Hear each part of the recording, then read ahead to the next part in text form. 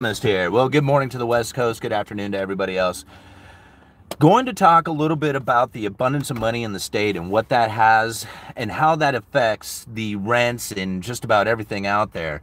A lot of times people just kind of think, well, the abundance of money is a good thing, but it's really how that money flows through the system that really starts to uh, create some havoc throughout the rest of the economy and eventually will cause everybody to fall into poverty once the new money turns off. Now, this is ultimately Cantillon's theory, right? And I'm reading this from Cantillon's essay, this right here, Cantillon's essay on economic theory. This is chapter seven, more on the increase and decrease in the quantity of money in the state. Now, this is a really interesting uh, chapter within it, and I'm not going to read the whole thing. I'm just going to read a section out of here but it really describes a lot of the reasons why we're seeing things like rent and housing as expensive as it is right now. And it's not, not just because of the money printer, it's the separation between the rich and the poor, the inequality that is happening here. So now I'm going to read through this and then we're going to start to discuss it a little bit. When there is an increase in the quantity of money, prices will increase depending on how the new money holders decide to spend their money. The price changes will be will also be affected by such things as regulation on trade and the perishability of the products that are traded. In other words, the simple quantity theory of money is naive in proposing that a doubling of the quantity of money will double all prices equally. Changes in the quantity of money will change relative prices and have real effects on the economy, a phenomenon known as the Cantillon effect. Now, again, this is written hundreds of years ago, right? So back in the day before they had cell phones and cars and airplanes and, you know, the internet and all the rest of the stuff, Cantillon started to describe what he was seeing within the economy. These are economic forces. These are things that just simply cannot change. And when you start looking through some of the some of the things that Cantillon was describing, especially when the new money comes in and how it is that people handle that new money, what it is that they do with it, eventually will start driving out the domestic manufacturers as the move into luxury starts bringing in ever increasing amounts of foreign production. This in turn will have a serious consequence to the people themselves, but it's the way there before that final collapse that you start seeing the realities of the situation and really it comes down to rents and leases. Now, again, I'm going to read through this a little bit and I think that it's probably going to um, really kind of clear up a lot of the issues that we are well not clear them up but make sense of a lot of the issues that we are facing that we sometimes end up blaming on politics so now let me read through this essay and then we'll kind of discuss it a little bit here. Thank you all for joining the live stream too. We have 90 people already watching with 18 likes. Go hit that like, that thumbs up button. When you when you come into the video, the algorithm loves to see it. They'll pick up the video and start spreading it around for more people to join in. Now, here how here is here's how it goes, right? Moreover, even if the state in question could keep a balance of trade and its greater abundance of money, it is reasonable to suppose that this abundance will plunge many wealthy individuals into luxury. And now that is going to be the case no matter what time of history that you are looking at. I don't care what country you're from. I don't care who how you grew up, right? If you get an abundance of money, you're going to want to enjoy that new money. And enjoying that new money means that you're probably moving into luxuries, getting nicer cars, getting nicer houses, getting nicer clothes, eating better food, all the stuff, right? Um, so, and that's what he says, will plunge many wealthy individuals into luxury. They will buy paintings, precious stones from abroad. They will want silks and rare objects. And they set such an example of luxury in the state that in spite of the advantage of its ordinary trade, its monies will flow abroad annually to pay for these luxuries. So this is what we are now facing. Like, you know, you think about it, back in the day, the United States was a manufacturing powerhouse. We produced the world's greatest stuff. We sent it out to them. They sent us their money. Well, then that flipped right? We started enjoying that new money that was coming in. We raised our standard of living and then we started to import a lot of foreign production. And that's exactly what he was describing hundreds of years ago. Like, like, there's like, it's not, it's almost crystal clear, right? Uh, the money will flow abroad annually to pay for these luxuries. This will gradually impoverish the state and cause it to pass from great power to great weakness. Now, this is exactly what was taking place back during the 70s when they had to remove us from the gold standard. Otherwise, we were going to be sending all our gold out to the rest of the world, and we would have fallen from that great power into great weakness. That's when they flipped the switch and decided that no, we're not giving out that gold. We're going to start issuing debt from now on. All right, but back to the back to the essay. When a state has arrived at its highest point of wealth, and I always assume that that the comparative wealth of the state consists mainly in the respective quantities of money. It will inevitably fall back into poverty by the ordinary course of things. Right? We prevented that from happening back in the 70s when we switched to a complete fiat currency, but according to Cantillon's essay, or according to Cantillon, it will inevitably happen once the fiat currency runs out. Let me read this again.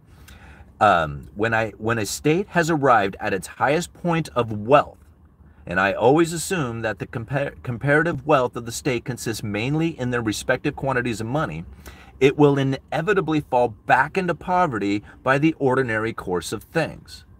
The too great of abundance of money, which gives power to the state so long as it lasts, throw them back imperson- gee whiz, I'm horrible at pronouncing words, but naturally into poverty.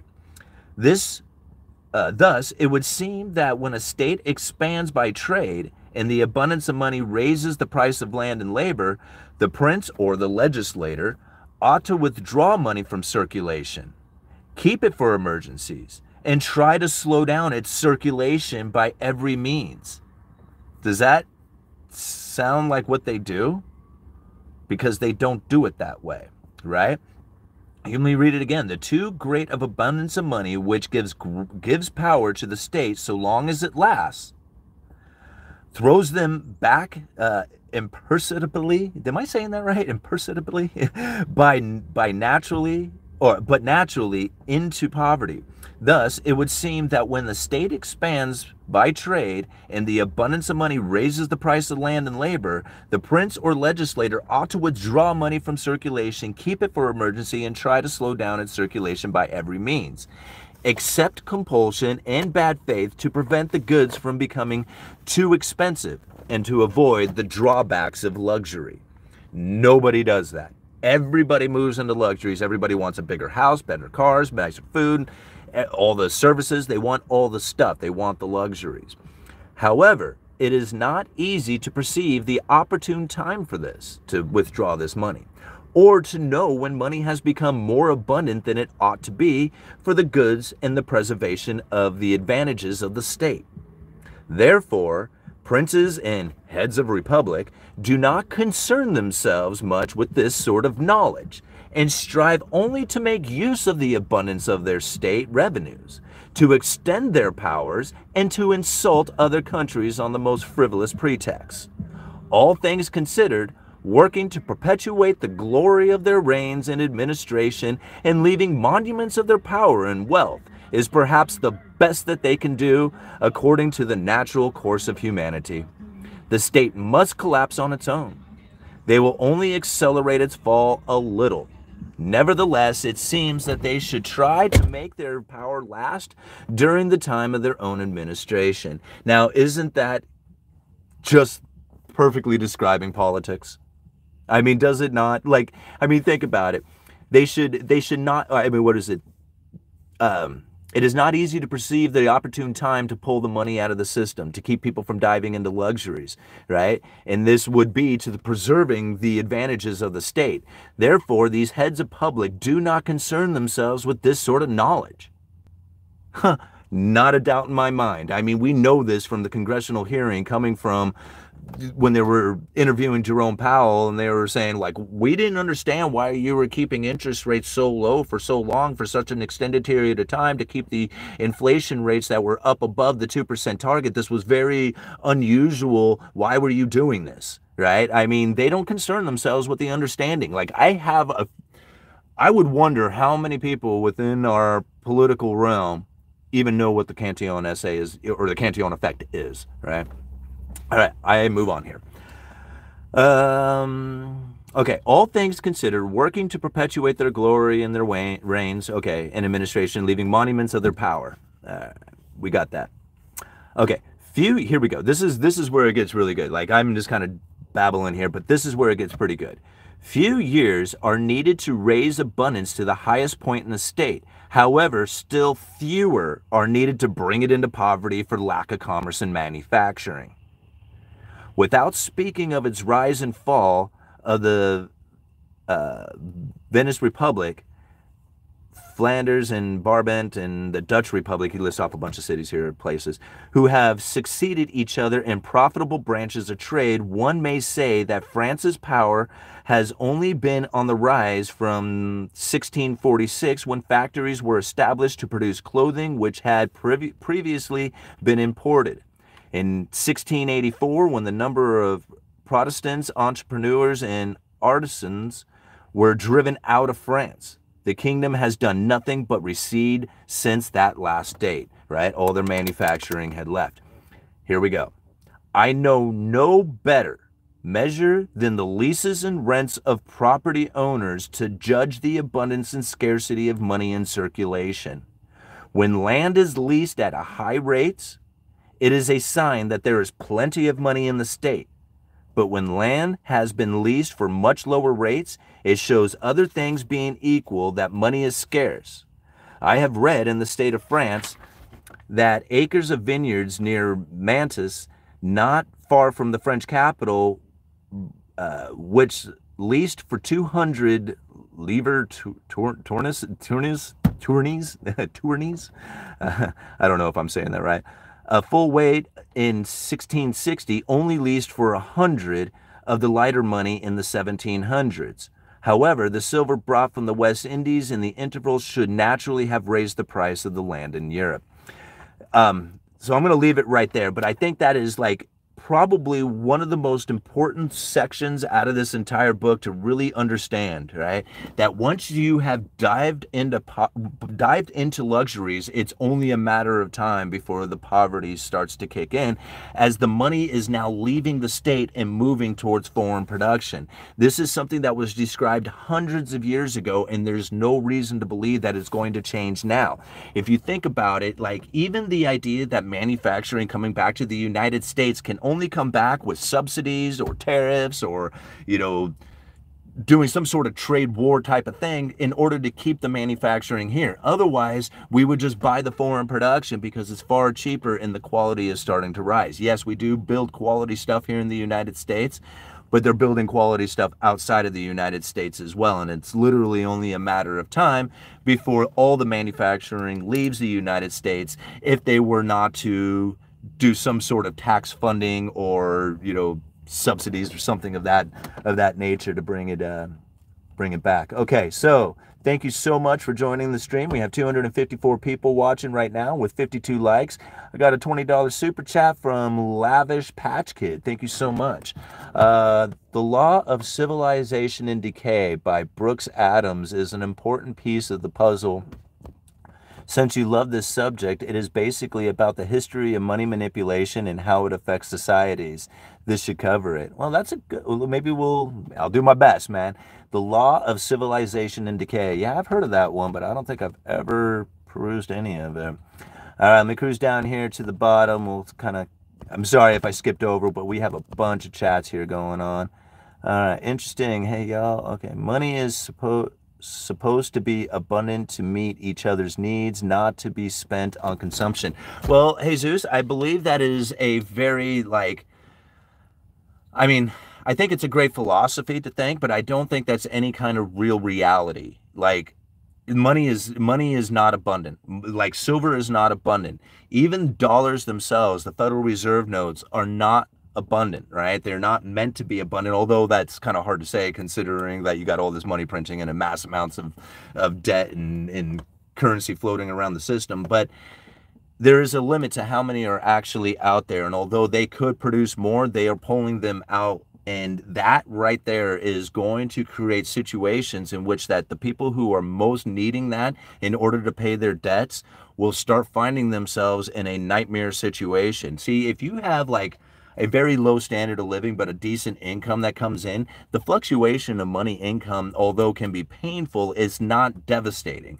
If you are strung out on debt, any fluctuation in money, especially going down, is going to be very devastating to you. And that's the unfortunate thing about having a limited amount of currency that's within the system is that we have an unlimited availability to debt. And if you had joined the if you're a member of the channel we had actually done a great video talking about the dollar funding stresses in china. Right here this is a great read. I'm going to leave it right up there. You can check out the title for it. Go and check this one out. It shows how much demand for dollars exists outside of the united states. They're just talking about china but they go into other places as well. If you if you are of the belief that the dollar is on its way out and that nobody wants it, I would suggest paying the dollar to become a member of the channel and go and check out that video we did last Sunday. It will it will definitely uh, give you a different thought process on that. All right, cruising down here to the bottom.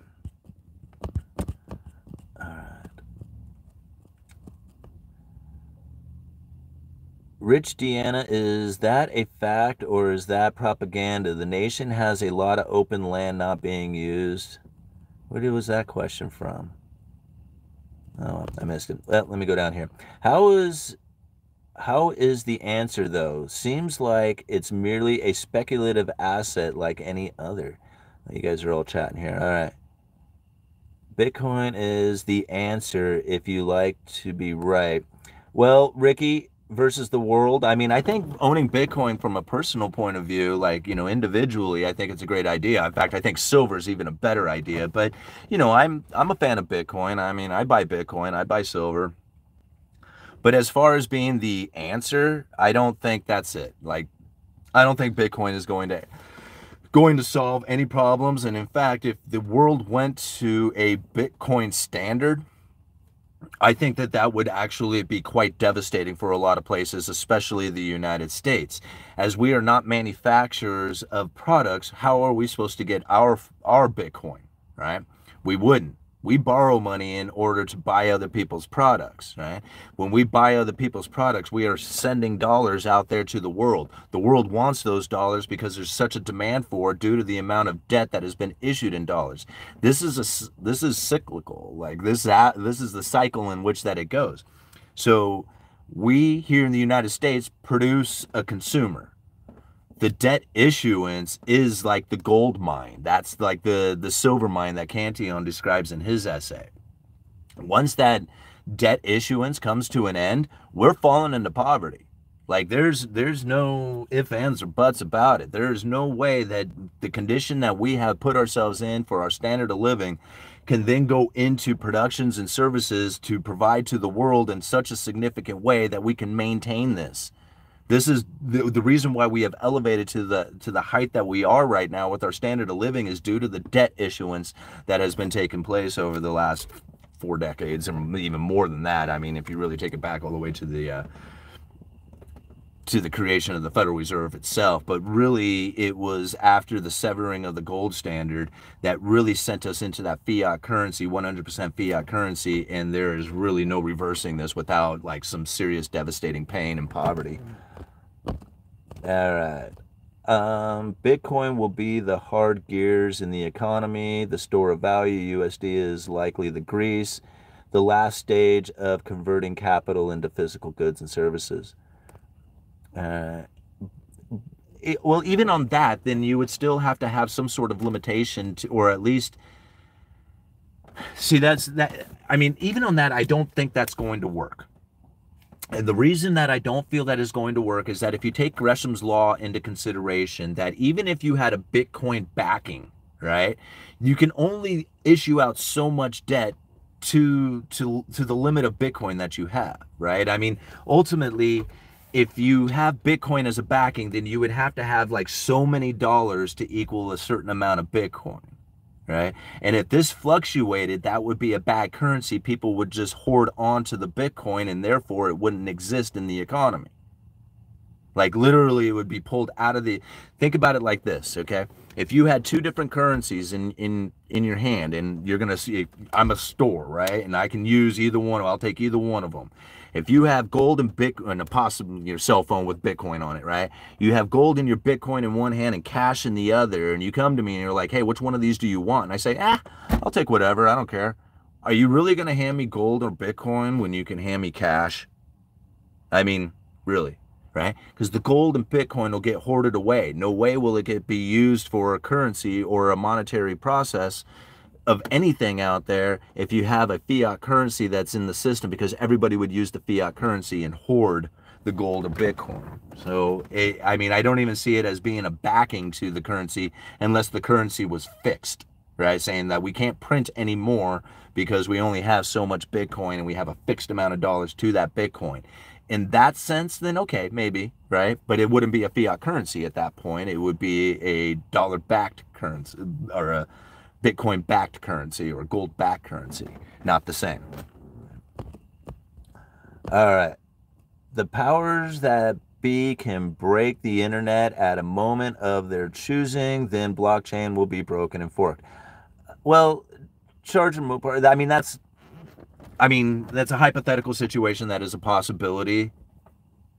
But is that a guarantee? No. I mean, and is that like in my opinion a, a high level concern? It's not.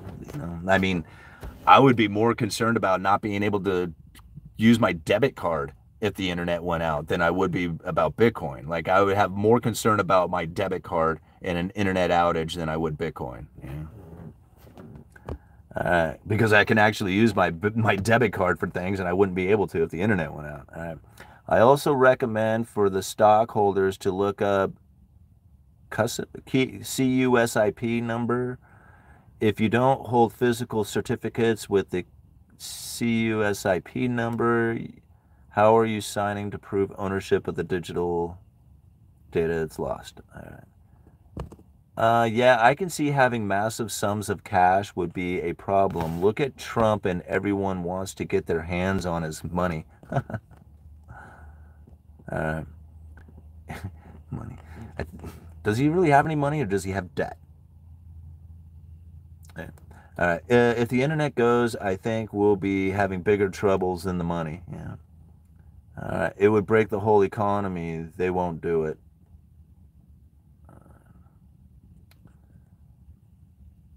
let's cruise up here. Bitcoin backed currency wouldn't work. They would just issue Bitcoin 2 to expand the money supply, and it's basically fiat. Uh, I've never heard of that one. Bitcoin 2 to expand the money. Yeah. Right. Pronounced QSIP. Thank you. I appreciate that. so, how is the how is the answer though? Seems like a merely speculative asset like any other. We read that. I'm not sure which one we were talking about there. Did you know that Martin Luther King wrote his 95 thesis about indulgence? Indulgence that the Holy Roman Empire was diving into. Well, it's it's pretty like once you understand once you understand like once you understand how that flow of money starts, because you, you can just look at it for yourself, right? I mean, think about it. If you had like, you know, just some crappy minimum wage job and you were barely making, like you had an apartment and you say you had some crappy car and you know, you're you're trying to make the payments you can hardly you know you have to cut back on a lot of the things that you you normally like would want to eat you have to eat like lesser foods or just you know whatever and this is the life that you lived, right? But all of a sudden you get a new job and it's paying double minimum wage. Right? Are you going to continue to live the same way? Like, you know, you're going to save all that money or invest that money, that new money that comes in? Or are you going to be like, finally, I can get rid of my crappy car and get a decent car? I'm going to start wearing nicer clothes. I'm going to enjoy this new money that's coming in everybody. That's human nature. There is no stopping that. That is going to take place, right? And so understanding that this human nature aspect of it, it doesn't really matter if you have politics involved or, you know, whatever kind of fiat money system that you have going on either. That none of that stuff really makes any difference to when it comes to human nature. People are going to conduct themselves in a particular fashion, and usually almost always, like I would imagine 99% of the people out there, if you get a little bit of new money coming in on a regular basis, you're going to want to enjoy that higher standard of living. That right there, that move going from a lesser life into a higher standard of living is the move into luxuries. As much as we don't want to consider it a luxur- luxurious experience, but more of our hard work paying off, it doesn't matter how you look at it personally. It's the idea that you are actually buying newer stuff, getting higher quality things, and it's probably coming from foreign production. And there is no stopping that. Like if Cantillon can describe this from hundreds of years ago, and then talk about how the politicians really don't understand what is taking place at the time. And most likely they will make decisions that will allow people to continue to dive into luxuries, right?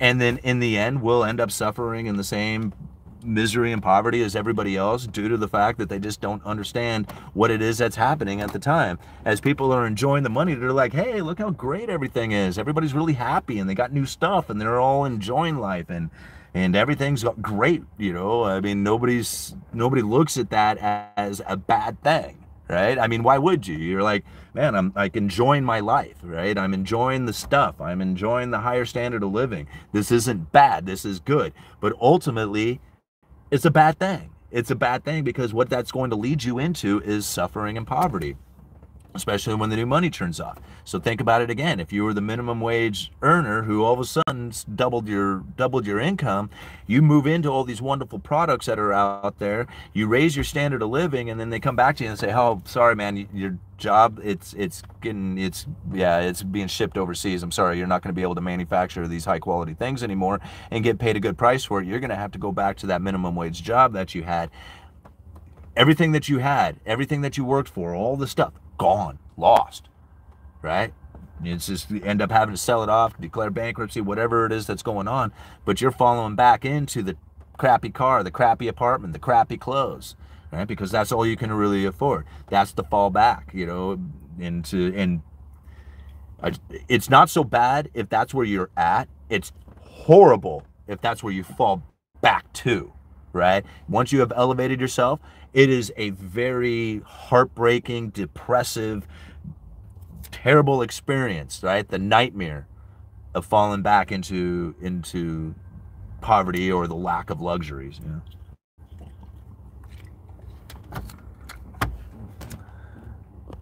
Okay.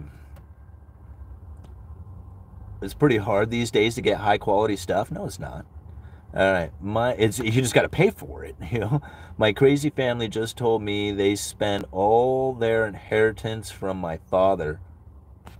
You know, I I hear some of these stories sometimes about like people inheriting or coming into a great sum of money, and then um, you know, like they had some real good intentions with it at first. Like, you know, they might have bought a house or, you know, maybe even invested some of it. But then, like, literally within a matter of years, like, in may, and sometimes it doesn't even take that long, it's gone. Like, I mean, I, I mean, I heard of, like, what was it over the course of three years after acquiring like eight hundred and fifty thousand dollars although there was the purchase of a house it wasn't paid for outright. It was just you know a lot of it was was put down on it. But ultimately there's really nothing left right from from this from this cash. And although like i said some of it might have been invested some of it might have been saved. But to me like i'm thinking about that it was just like man this huge chunk of cash came into your life three years ago and it's essentially five years ago six years ago whatever it was but it's essentially gone now. Like you don't you don't have access to that much. You don't even have access to a hundred thousand dollars anymore you know or without like cashing in a, a stock portfolio or something of that nature. And even on that it wasn't it's not nearly as much as the 800000 so i think my god. Like what'd you do to your standard of living? You increased like it went up right? Started hanging out and concerts and, you know, all the fun and all the things that came with it and nickel and dimed it all away, right? And this is like I think this is probably a very typical thing that would happen, you know, just from human nature. It was just like, man, look at all this abundance of money I have. I'm going to enjoy it. Like, yeah, I'm going to spend it on something, you know, and not think about it and just say, hey, this is a good thing that I've always wanted in my life and and now I have it, right? But not realizing how devastating that's going to be to you because of that dive into luxuries that you experienced. Once the money is gone, what do you have to do with it? You have to sell that thing off, and you end up, you know, selling it off for half of what you paid for it, or something of that nature. This is like common story that you hear over and over again. So it's like you can really understand the Cantillon effect just from your own personal view of like how you conduct yourself when you get new money coming in and moving into luxuries yourself. You look back, you're like, man, I wish I hadn't gone to that concert. I wish I hadn't spent all that money on that fancy steak dinners, you know, or something of that kind of nature. You know? All right, guys, I'm going to give it probably about another five, ten minutes, and then I got to go. I find it funny AI is still new, and everyone who invested in the stocks is flocking to it because the only thing making them money. I don't know. I'm making a. I did pretty well on Coinbase, and that's you know. I mean, I guess that's kind of techie. Yeah. All right. Uh, Uneducated economist. This is from Sarge two seven two seven one. Simon, howdy, bud. Whatever do, whatever you do, eyes wide open. Shit's getting crazy. Yeah, it sure is.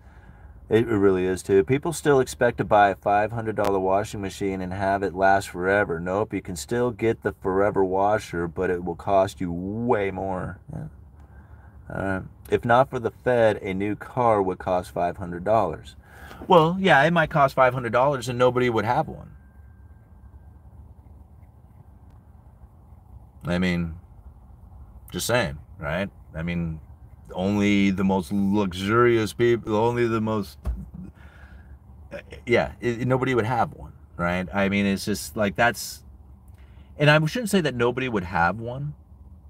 What I should say is, is that if the Fed didn't exist and we were a manufacturing powerhouse and we didn't spend our money on luxuries, but instead took our money and reinvested it back into manufacturing or just invested it in general into any, many directions that we could go, but didn't use that money to increase our standard of living, didn't use it to, you know, enjoy our lives, right?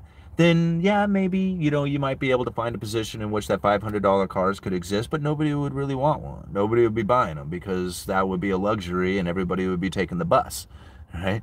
Because this is the difference. Like we here in America, we enjoy luxuries. Every, like, you know, I mean, the fact that I have three cars, right? Even though they're crappy cars, but I have three of them. They all run, right? That's a very luxurious thing, considering there's some people in this world who really live in poverty and they will never have a chance to own a shitty car, right?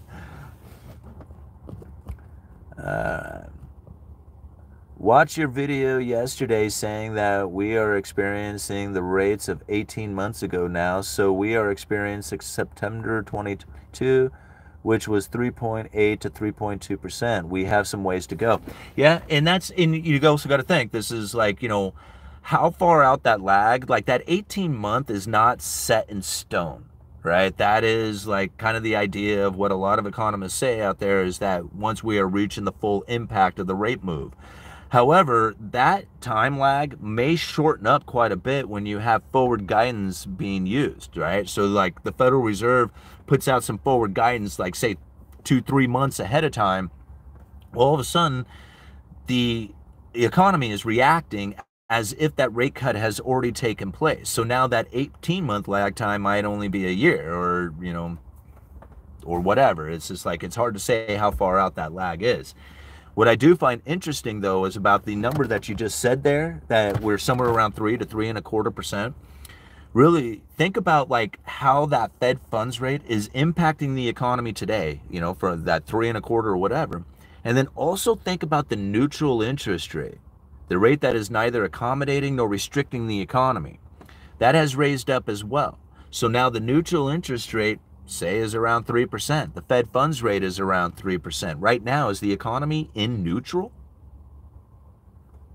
Right? I mean, are we going to be moving into restrictive times? is the neutral interest rate going to rise and the Fed stay still and actually slow or um, decrease the amount of restriction to the economy? It's still restrictive, but less restrictive as the neutral interest rate rises.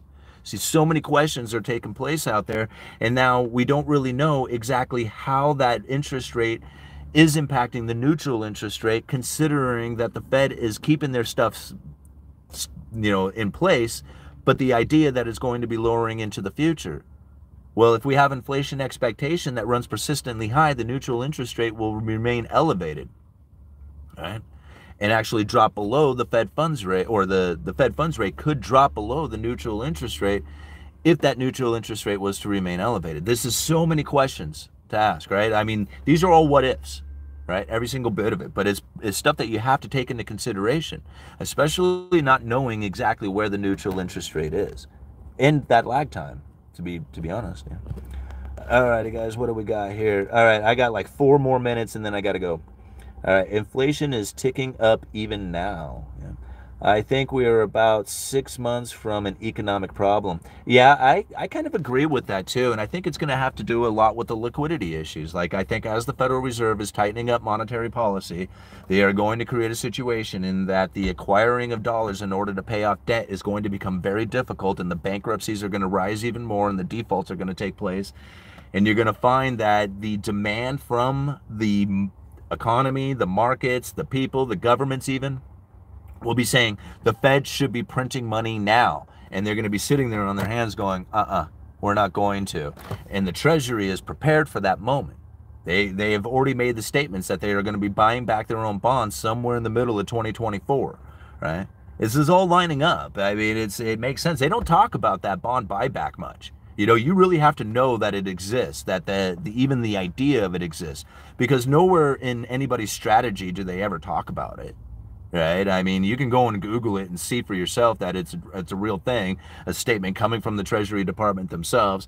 There was, you know, all the mainstream media's, the Wall Street Journal, Bloomberg, Reuters, everybody did articles on talking about the the bond buyback, and then went silent. Nobody talks about it anymore. Right? Because if everybody knew that it was going to take place, then they would be concerning themselves for the liquidity crisis that is coming. Instead, they just don't even know that it's happening yet, except for those who are really paying attention. All right. All right, all nighter. As long as an econ problem is AFS after fishing season, so we can get a decent price for our fish.